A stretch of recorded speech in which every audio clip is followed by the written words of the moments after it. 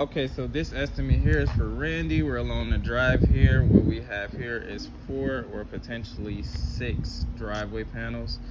Uh, as for reference, garage is there. We have one, two, three, four panels here. The goal is to get everything up to be as leveled as possible to the abutting concrete. And we want to stabilize these slabs to prevent it from falling in the future. As explained, this wouldn't go down due to dirt debris or anything that may have gotten underneath it. So in that case, we'll match the surrounding slabs to it to kind of smooth that transition. Uh, as well as any other area that's heaved up due to the opposite end settling.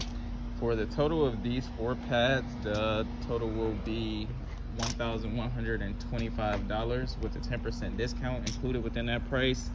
Uh, homeowner decided they wanted to add the additional two slabs here to smooth the transition, then the total will be $1,480 $85 with a 10% discount included within that price. Um, this here, there will be a lip here as well, which is not a great concern for the homeowner. And that's pretty much it. No other services are included within that price. Thank you for choosing Mr. Level.